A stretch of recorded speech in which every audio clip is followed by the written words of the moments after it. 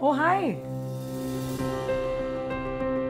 Oh, that's a very interesting question. I think one of the best things I like to do is to uh, read books which are very motivational. And besides that, uh, friends are really important. So I spend a lot of time whenever I can uh, to go out for an outing, whether it's a dinner or a movie with friends.